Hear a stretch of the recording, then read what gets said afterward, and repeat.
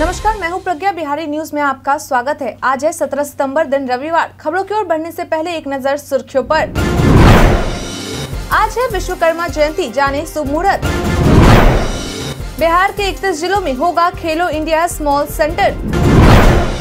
बिहार में डेंगू का मिला नया वेरिएंट, हेल्पलाइन नंबर जारी। चंद्रयान तीन से जुड़े 10 सवालों का जवाब देकर जीते नगद पुरस्कार। भारत और श्रीलंका के बीच एशिया कप 2023 का फाइनल आज। अब चलिए बढ़ते हैं बिहार के अब तक की 25 बड़ी खबरों की ओर विस्तार से। एसबीआई में 442 पदों पर निकली भर्ती। भारतीय स्टेट बैंक, यानी कि एसबीआई के द्वारा मैनेजर और स्पेशलिस्ट ऑफिसर के 442 पदों के लिए भर्ती निकाली गई है। ऐसे में इच्छुक उम्मीदवार जो इसके लिए आवेदन करना चाहते हैं, वह एसबीआई की आधिकारिक वेबसाइट sbi.co.in पर जाकर आवेदन कर सकते हैं। बता दें कि इसके लिए आवेदन करने की अंतिम तारीख छह अक्टूबर 2023 तक निर्धारित की गई है। इसके लिए अगर शैक्षणिक योग्यता की बात करें तो दोनों पदों के लिए अलग अलग योग्यता निर्धारित की गई है। ऐसे में इच्छुक उम्मीदवार इस संबंध में जानकारी लेने के लिए जारी किए गए अधिसूचना को देख सकते हैं। बता दें कि इस भर्ती के लिए आवेदन करने की शुरुआत बीते दिन यानी 16 सितंबर से हुई है।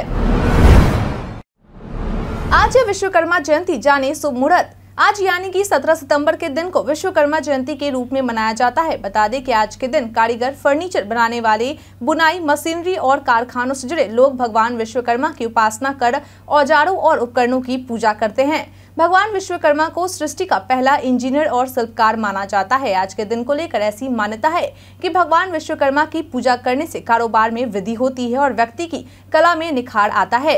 वहीं अगर हम इसके शुभ मुहूर्त की बात करें तो पंचांग के अनुसार सुबह सात बजकर पचास मिनट से बारह बजकर छब्बीस मिनट तक पूजा का शुभ मुहूर्त है। वहीं दोपहर में पूजा का शुभ मुहूर्त पंचांग के अनुसार दोपहर एक बजकर अंठावन मिनट से दोपहर तीन बजकर तीस मिनट तक रहेगा। पंचांग में बताया गया है कि विश्वकर्मा पूजा के दिन कई शुभ संयोग का निर्माण हो रहा है। इस विशेष दिन पर हस्त और चित्रा नक्षत्र, साथ ही ब्रह्म योग, द्विपुष्कर योग, अमृत सिद्धि योग और स्वार्थ सिद्धि योग का निर्माण हो रहा है। बिहार के पर्यटन में आज हम बात करेंगे विक्रमशिला विश्वविद्यालय के बारे में। बिहार प्रांत के भागलपुर ज़िले में स्थित विक्रमशिला एक अंतर्राष्ट्रीय ख्याति का शिक्षा केंद्र रहा है। विक्रमशिला के महाविहार की स्थापना नरेश धर्मपाल ने करवाई थी। यहाँ 160 विहार तथा व्याख्यान के लिए अनेक कक्ष बने हुए थे। धर्मपाल के उत्तराधिकारी तेरहवीं शताब्दी तक इसे राजकीय संरक्षण प्रदान करते रहे। परिणाम स्वरूप विक्रमशिला लगभग चार शताब्दियों से भी अधिक समय तक अंतर्राष्ट्रीय ख्याति का विश्वविद्यालय बना रहा। विश्वविद्यालय में अध्ययन के विशेष विषय, व्याकरण, तर्कशास्त्र, मीमांसा तंत्र विधिवाद आदि थे। आचार्यों ने दीपंकर श्रीज्ञान को नाम सर्वाधिक उल्लेखनीय है, जो इस विश्वविद्यालय के कुलपति थे। कहा जाता है कि बख्तियार खिलजी नामक मुस्लिम आक्रमणकारी ने सन ग्यारह के आसपास इसे नष्ट कर दिया था। वर्तमान समय में विश्वविद्यालय के भग्नावशेष को देखकर इसके गौरवशाली अतीत और विख्याति की अनुभूति कर सकते हैं। भारत और श्रीलंका के बीच एशिया कप 2023 का फाइनल आज। आज यानी कि 17 सितंबर को कोलंबो के प्रेमदासा इंटरनेशनल क्रिकेट स्टेडियम में भारत और श्रीलंका के बीच दोपहर तीन बजे से एशिया कप 2023 का फाइनल मुकाबला खेला जाना है। एक तरफ़ जहाँ आज भारतीय टीम रोहित शर्मा के नेतृत्व में आठवीं बार एशिया कप का खिताब अपने नाम करने के लिए मैदान में उतरेगी तो वहीं दूसरी ओर श्रीलंका दाशुन सनाका के नेतृत्व में सातवीं बार एशिया कप का खिताब जीतना चाहेगी। आपकी जानकारी के लिए बता दें कि एशिया कप में भारत और श्रीलंका एक दूसरे के साथ आठ बार भिड़ चुके हैं, जिनमें से पाँच बार भारत को जीत मिली है तो वहीं तीन बार श्रीलंका को आप यह मुकाबला टीवी पर स्टार स्पोर्ट्स नेटवर्क पर देख सकते हैं। इसके अलावा इसकी live streaming Disney plus Hotstar app पर होगी। बता दें कि आज के इस मुकाबले में दोनों टीमों के लिए बीच हाई वोल्टेज का मुकाबला देखने को मिल सकता है। बिहार के अड़तीस हज़ार एकड़ में होगा ड्रोन से कीटनाशक का छिड़काव। वैसे किसान जो डीबीटी पोर्टल पर रजिस्टर्ड हैं, उन्हें बहुत जल्दी एक लाभ मिलने वाला है। दरअसल राज्य के सभी अड़तीस जिलों के अड़तीस हज़ार एकड़ में ड्रोन से कीटनाशक का छिड़काव करने का लक्ष्य रखा गया है। इसके लिए सरकार की ओर से एजेंसी का चयन किया जाएगा, जो ड्रोन परिचालन का काम करे। बता दें कि इस कार्य को करने के लिए सरकार की ओर से प्रति एकड़ दो सौ अनुदान के रूप में दिए जाएँगे। आपकी जानकारी के लिए बता दें कि सभी जिलों में एक एक हज़ार एकड़ क्षेत्र में कीटनाशक का छिड़काव किया जाएगा। वहीं इससे संबंधित सूचना क्षेत्र के लोगों को 24 घंटे पहले दे दी जाएगी। मालूम हो इस कार्य पर कुल पंचानवे लाख खर्च होने वाले हैं, जिसमें से केंद्र सरकार की ओर से संतावन लाख रुपए राज्य सरकार को दिए जाएँगे। अगर ड्रोन से कीटनाशक का छिड़काव किया जाता है तो किसानों के स्वास्थ्य पर कीटनाशक का प्रभाव नहीं पड़ेगा और साथ ही पानी और श्रम की भी बचत होगी। राज्य के इंजीनियरिंग पॉलिटेक्निक कॉलेजों में होगी ये प्रतियोगिताएँ। विज्ञान, प्रावैधिकी एवं तकनीकी शिक्षा विभाग के सचिव लोकेश कुमार सिंह के द्वारा राज्य के सभी इंजीनियरिंग, पॉलिटेक्निक कॉलेजों में खेलकूद, निबंध, पेंटिंग और वाद विवाद प्रतियोगिताओं का आयोजन करने के लिए दिशा निर्देश दे दिया गया है। बता दें इस पत्र में यह भी लिखा गया है कि संस्थान के स्तर पर प्रतियोगिता का आयोजन एक अक्टूबर से पंद्रह नवंबर के बीच किया जाए। वहीं प्रमंडल स्तर पर प्रतियोगिता का आयोजन पंद्रह नवंबर से पंद्रह दिसंबर तक किया जाएगा। इसके बाद जिन छात्रों का चयन प्रमंडल स्तर पर होगा, उन्हें पंद्रह से इकतीस दिसंबर तक राज्य स्तर पर आयोजित हुई प्रतियोगिता में भाग लेने का मौका मिलेगा। वहीं जीतने वाले को पुरस्कार भी दिया जाएगा। बता दें कि इसके आयोजन को लेकर इंजीनियरिंग कॉलेजों को आठ लाख रुपए तो वहीं पॉलिटेक्निक कॉलेजों को छह लाख रुपए दिए जा रहे हैं। इसके अलावा प्रमंडल स्तर पर आयोजन के लिए अलग से दस लाख और राज्य स्तर के लिए बीस लाख रुपए दिए जाएँगे। बिहार के इकतीस जिलों में होगा खेलो इंडिया स्मॉल सेंटर। अब बिहार भी खेल में पीछे नहीं रहा है। यहाँ के खिलाड़ियों के द्वारा भी राज्य से लेकर राष्ट्रीय स्तर तक के खेलों में अपना परचम लहराया जा रहा। इसी कड़ी में अब बिहार में बहुत जल्दी राष्ट्रीय स्तर के विभिन्न खेलों का आयोजन होने वाला है, जिसमें देश के अलग अलग राज्यों के खिलाड़ी भाग लेंगे। बता दें कि आयोजन अक्टूबर से फरवरी तक होने वाला है। वहीं बिहार राज्य खेल प्राधिकरण रविन्द्र संकरण के द्वारा जानकारी देते हुए बताया गया है कि राज्य के इकतीस जिलों में खेलो इंडिया के तहत स्मॉल सेंटर की शुरुआत की जाएगी, जिसमें कुल सत्रह खेलों की ट्रेनिंग दी जाएगी। ऐसे में इन खेलों की ट्रेनिंग देने के लिए जल्द ही पुराने वरीय खिलाड़ी या एनआईएस सर्टिफाइड खिलाड़ियों की नियुक्ति की जाएगी। लेकिन स्मॉल सेंटर में जिन सत्रह खेलों की ट्रेनिंग दी जाएगी, उनमें archery athletics badminton cycling fencing football hockey kabaddi kho kho rugby sepak takraw table tennis taekwondo weight lifting wrestling और वुसु शामिल है। बिहार में डेंगू का मिला नया वेरिएंट हेल्पलाइन नंबर जारी। बिहार में डेंगू के मामलों में लगातार बढ़ोतरी होती जा रही है। ऐसे में मामलों को लेकर अब स्वास्थ्य विभाग भी पूरी तरह से अलर्ट मोड में आ चुका है। लेकिन इन सब के बीच अब तक बिहार में डेंगू के चार नए वेरिएंट मिल चुके हैं, जिसमें डीईएनबी एक से तीन मरीज़ पीड़ित है। तो वहीं डीईएनबी दो से दो मरीज़ डीईएनबी तीन से सात मरीज़ और डीईएनबी चार से एक मरीज़ पीड़ित है। बता दें कि स्वास्थ्य विभाग के अधिकारियों के अनुसार राज्य में डेंगू के वेरिएंट डीईएनबी चार को काफ़ी लंबे समय से नहीं देखा गया था। वहीं अब राज्य में डेंगू के बढ़ते मामलों को देखते हुए राज्य में डेंगू नियंत्रण कक्ष बनाया गया है, जहाँ 24 घंटे इलाज की सुविधा उपलब्ध करवाई जा रही है और इसके अलावा एक हेल्पलाइन नंबर शून्य छह एक दो दो नौ पाँच एक नौ छह चार भी जारी किया गया है, जहाँ संपर्क कर मदद लिया जा सकता है और साथ ही अस्पतालों में बेड, ब्लड बैंकों में प्लेटलेट्स की उपलब्धता संबंधित जानकारी हासिल की जा सकती है। सरकारी स्कूलों से गायब चौतीस शिक्षकों का काटा गया वेतन प्रखंड शिक्षा पदाधिकारी की रिपोर्ट के आधार पर जिला शिक्षा पदाधिकारी रजनीकांत प्रवीण के द्वारा बिना सूचना दिए स्कूलों से गायब रहने वाले चौतीस शिक्षकों का एक दिन का वेतन काट लिया गया है और साथ ही इसका स्पष्टीकरण भी मांगा गया है। ऐसे में अगर शिक्षकों को जवाब संतोषजनक नहीं पाया जाता है तो विभागीय कार्रवाई भी सुनिश्चित करने की बात कही गई है। डीईओ के द्वारा कहा गया है की अनधिकृत रूप से शिक्षकों के द्वारा अनुपस्थित पाया जाना, अपने कर्तव्यों का अनुपालन निष्ठापूर्वक नहीं करना, स्वेच्छाचारिता बरतना कार्य के प्रति लापरवाही ही वरीय अधिकारी के आदेश का उल्लंघन व सरकारी आदेश का पालन नहीं करने से संबंधित शिक्षकों से स्पष्टीकरण मांगी गई है। बिहारी बर्थडे में आज हम बात करेंगे आफ्ताब सेठ के बारे में। आफ्ताब सेठ का जन्म आज ही के दिन उन्नीस में हुआ था। यह एक सेवानिवृत्त भारतीय राजनयिक हैं, जिन्होंने ग्रीस, वियतनाम और जापान में भारत के राजदूत के रूप में कार्य किया। वह ब्रिटिश भारतीय अभिनेता रोशन सेठ के भाई है। सेठ ने अपनी स्कूली शिक्षा दून स्कूल से पूरी की। इसके बाद उन्होंने दिल्ली विश्वविद्यालय के सेंट स्टीफन कॉलेज से इतिहास में बीए ऑनर्स की पढ़ाई की, जहाँ उन्होंने प्रथम श्रेणी सम्मान के साथ विश्वविद्यालय में टॉप किया। इसके बाद उन्हें क्राइस्ट चर्च, ऑक्सफोर्ड में इतिहास और राजनीति, संवैधानिक इतिहास पढ़ने के लिए रोड्स छात्रवृत्ति प्राप्त हुई। इसके बाद उन्होंने अमेरिकन कॉलेज ऑफ़ ग्रीस से कानून में डॉक्टरेट की उपाधि प्राप्त की। ये विदेशी सेवा में शामिल हुए। वह जापान, माइक्रोनेशिया, वियतनाम और ग्रीस में भारतीय राजदूत थे।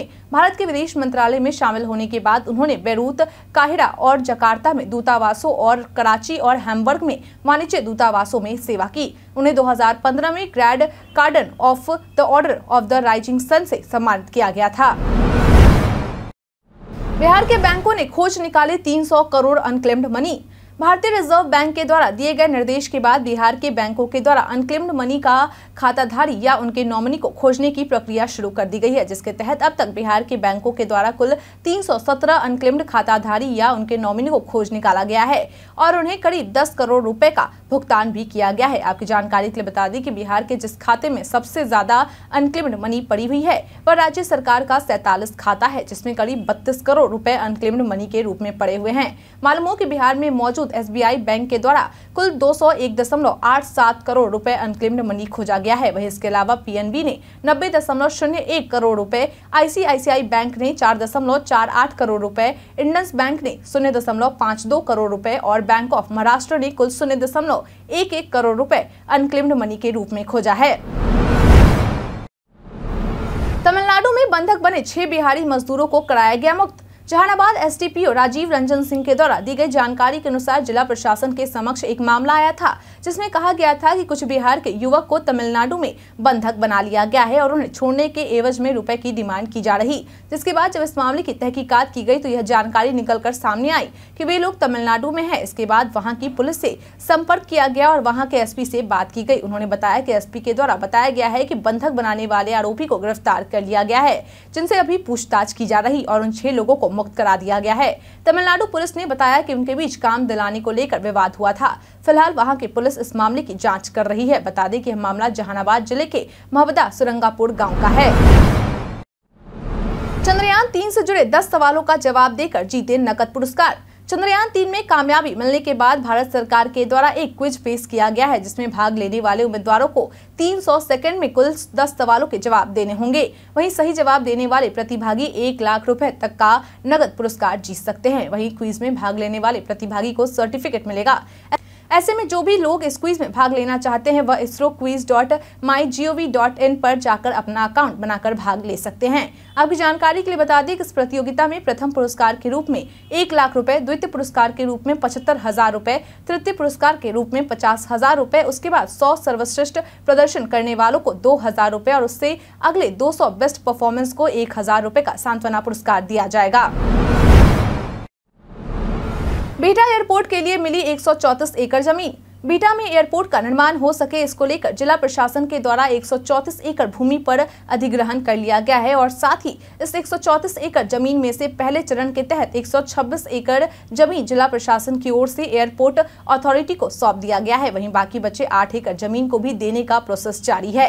बता दें इस ज़मीन के मिलने के साथ ही एयरपोर्ट टर्मिनल बिल्डिंग बनाने की कवायद शुरू हो जाएगी। फ़िलहाल निर्माण एजेंसी के चयन का काम चल रहा और अब जल्द ही भवन निर्माण के लिए निविदा भी जारी की जाएगी, बता दें के संबंध में अधिकारियों का कहना है कि पहले चरण में टर्मिनल भवन का निर्माण कार्य होगा। मालूम हो कि बीटा में एयरपोर्ट के निर्माण के लिए भूमि अधिग्रहण की अधिसूचना वर्ष 2017 को जारी की गई थी। हालाँकि बीच में कई परेशानियों का भी सामना करना पड़ा। बांका में वाहन चेकिंग के दौरान विदेशी शराब जब्त बिहार में पूर्ण रूप से शराबबंदी है, इससे तो हम सभी वाकिफ है, लेकिन इसके बावजूद भी आए दिन हमें शराब तस्करी से जुड़े मामले सुनने को मिलते रहते हैं। हालाँकि इन पर नकेल कसने के लिए उत्पाद विभाग की ओर से जीतोड़ कोशिश की जा रही, लेकिन इसके बावजूद भी इन मामलों में कोई खास कमी देखने को नहीं मिल रही, बल्कि उल्टा शराब तस्कर के द्वारा तस्करी के लिए आए दिन नए नए तरीकों का निजात किया जा रहा। बता दें कि ताज़ा मामला बिहार के बांका के बड़ाहाट थाना के नेमुआ मोड़ का है, जहाँ पुलिस के द्वारा वाहन चेकिंग के दौरान एक Tata Ace magic parcel van से बोरियो के नीचे से 45 कार्टन विदेशी शराब बरामद किया गया है। हालाँकि इस दौरान किसी की गिरफ्तारी नहीं की जा सकी। फ़िलहाल पुलिस के द्वारा शराब और वाहन निबंधन संख्या डब्ल्यू बी दो तीन ई दो आठ तीन तीन को जब्त कर लिया गया है और गाड़ी के मालिक और फरार चालक के विरुद्ध अभियोग दर्ज कर कार्रवाई की गई है। राज्य के कई जिलों में बारिश की संभावना। प्रदेश में इन दिनों मौसम का मिजाज लगातार बदल रहा है। बदलते हालात के बीच में प्रदेश के कई जिलों में बारिश की संभावना जताई गई है। कई जिलों में बारिश को लेकर अलर्ट भी जारी किया जा रहा। हालाँकि मौसम विभाग की तरफ़ से जारी अपडेट में सत्रह सितंबर और अठारह सितंबर को प्रदेश में बारिश की संभावना से इनकार किया गया है।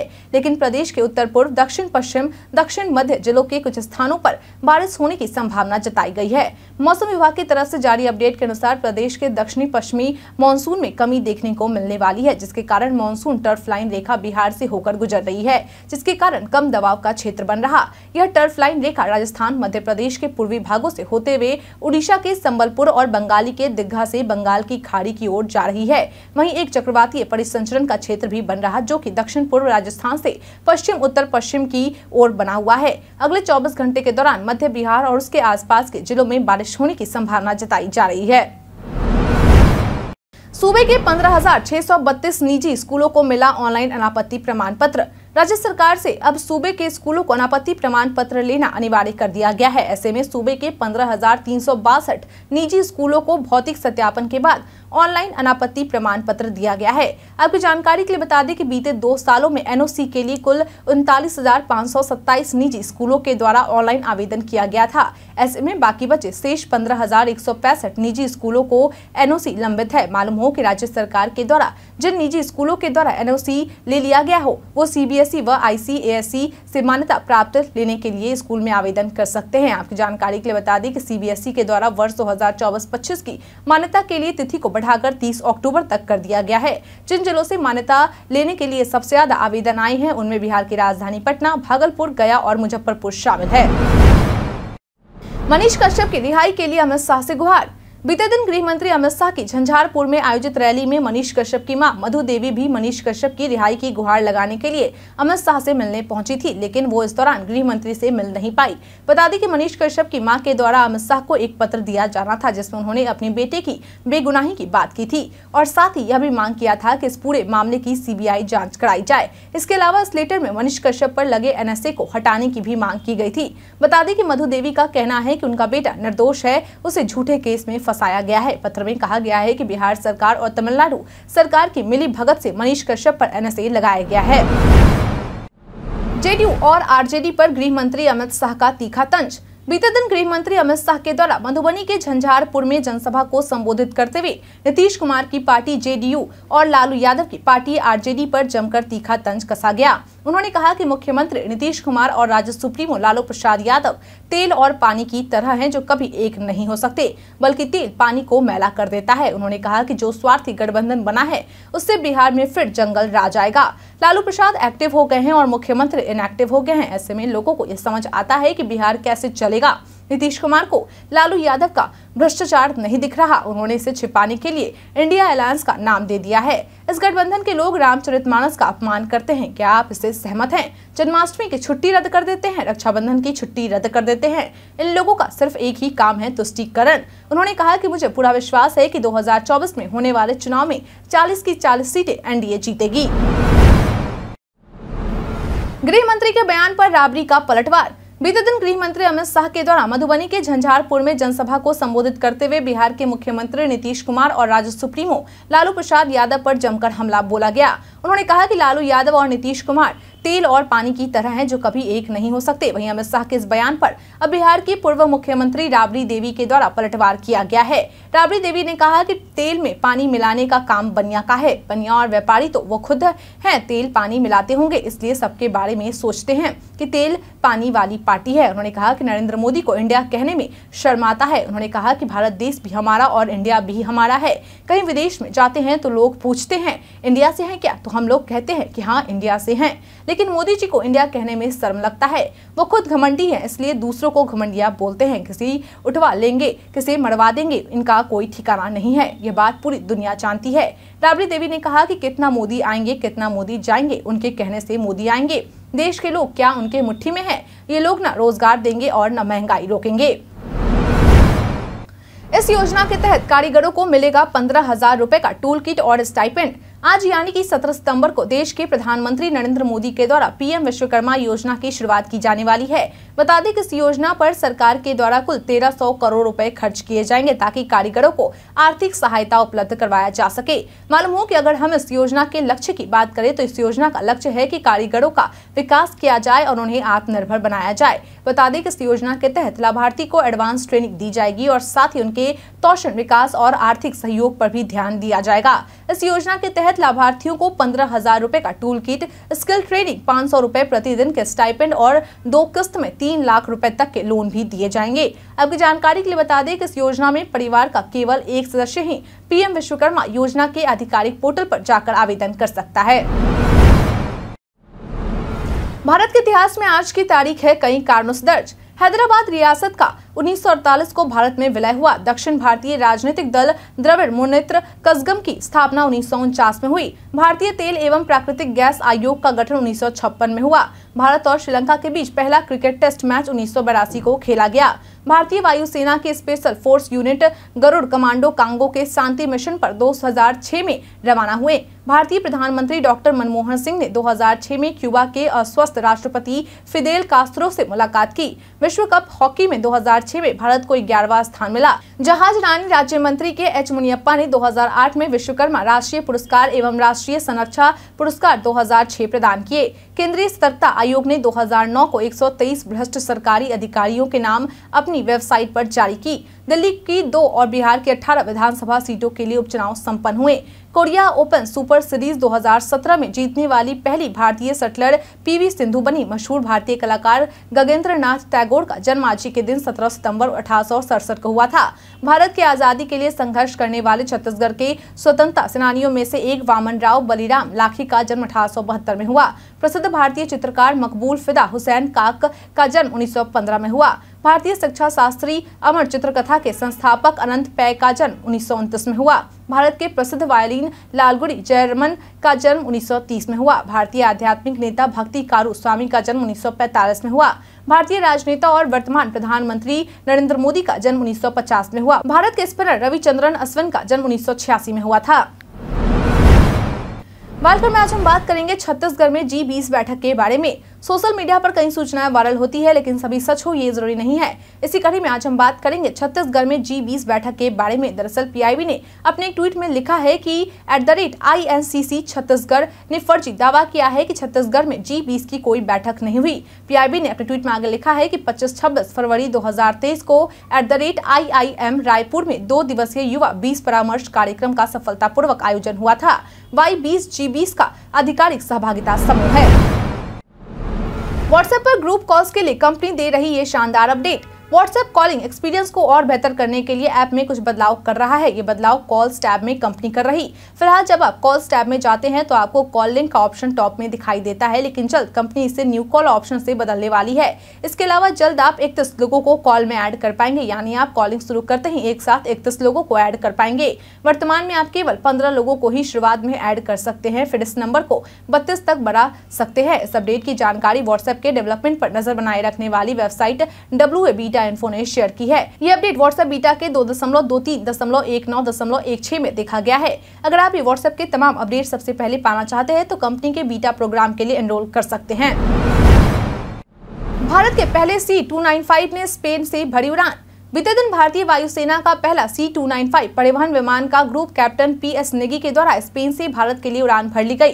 लेकिन भारत के वडोदरा पहुँचने से पहले यह विमान माल्टा, मिस्र और बहरीन में रुकेगा। बता दें इस विमान के भारत आने से देश की टैक्टिकल क्षमताओं में बढ़ोतरी होगी और साथ ही यह भारत की पहचान बनेगा। इन सबके बीच भारतीय एविएशन के लिए बड़ी बात है कि 16 विमान का निर्माण स्पेन में किया जाएगा, लेकिन सत्रहवा विमान का निर्माण भारत करेगा। अगर हम इसके खासियत की बात करें तो पाँच दस टन क्षमता वाले सी दो का उपयोग इकहत्तर सैनिकों या पचास पैराट्रपर्स तक के सामरिक परिवहन के लिए और उन स्थानों पर रसद संचालन के लिए किया जाता है, जो वर्तमान में भारी विमानों के लिए पहुँचने योग्य नहीं है। इसे टेक ऑफ़ करने के लिए आठ सौ चौवालिस मीटर से नौ मीटर लंबाई वाला रनवे चाहिए। तो वहीं उतरने के लिए केवल चार सौ उनतीस मीटर का रनवे चाहिए। हम प्रतिदिन आपसे पाँच ऐसे ज़रूरी सवाल और उससे जुड़े जवाब बताएँगे जो कि बीपीएससी बिहार पुलिस, दरोगा समेत एसएससी जैसे अन्य प्रतियोगी परीक्षाओं में काम आएँगे। सवाल इतिहास, बिहार स्पेशल विज्ञान, करंट अफेयर्स और भूगोल से रहेंगे। पूछे गए पाँचों सवाल में आपने कितना सही उत्तर दिया, कृपा करके यह हमें कमेंट करके ज़रूर बताएँ। हमारा पहला सवाल है, हाल ही में किसने राष्ट्रव्यापी स्वास्थ्य सेवा योजना, आयुष्मान भव अभियान का शुभारंभ किया है? ऑप्शन ए, प्रधानमंत्री नरेंद्र मोदी। ऑप्शन बी, राष्ट्रपति Murmu option C, Yogi Adityanath. Option D, Smriti Irani.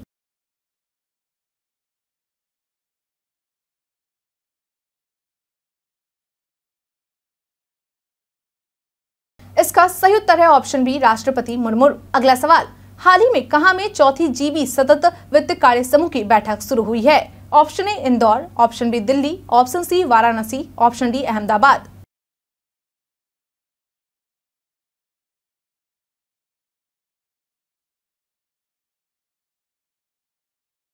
इसका सही उत्तर है ऑप्शन सी, वाराणसी। अगला सवाल, बिहार से प्रकाशित होने वाले प्रथम हिंदी दैनिक समाचार पत्र का नाम क्या है? Option A search light option B, Aryavarta, option C सर्व हितैषी ऑप्शन डी, सदा ए आग।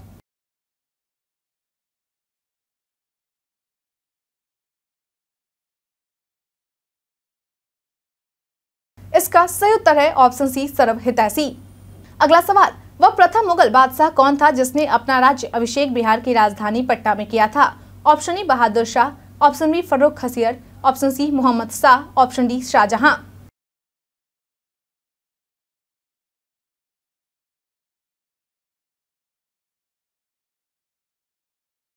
इसका सही उत्तर है ऑप्शन बी फर्रुख खसियर। अगला सवाल, हिमालय से आने वाली गंगा की सहायक नदियों में सबसे लंबी नदी कौन है? Option A Burhi Gandak, option B Mahananda, option C Gandak, option D Bagmati.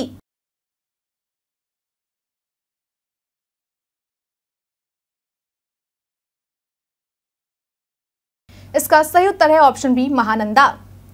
बीते दिन हमारे द्वारा पूछे गए सवाल का आप लोगों में से बहुत लोगों ने अपना जवाब हमें हमारे कमेंट सेक्शन बॉक्स में लिख कर दिया था, जिन्होंने हमारे द्वारा पूछे गए सवाल का जवाब दिया है। उनके नाम है उमेश ऋषिदेव हरिंद्र कुमार, मोहम्मद फहीम, खुशी शर्मा, रानी कुमारी, भान प्रकाश मौर्य, विकास कुमार, विजय कुमार मंडल, इंद्रभूषण रवि, रोहित कुमार, राजकिशोर महतो, अतीक खान, महेंद्र मिश्रा, उदय कुमार पासवान, प्रियामल यादव, पंकज कुमार दास।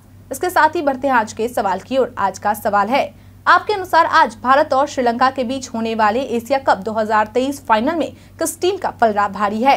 अपना जवाब हमें हमारे कमेंट सेक्शन में लिखकर ज़रूर बताएँ। आज के लिए इतना ही। बिहार के तमाम खबरों के साथ बने रहने के लिए देखते रहें बिहारी न्यूज़। और साथ ही अगर आप यूट्यूब से देख रहे हैं, चैनल को सब्सक्राइब करना। और अगर आप फेसबुक से देख रहे हैं तो पेज को फॉलो करना ना भूले। धन्यवाद।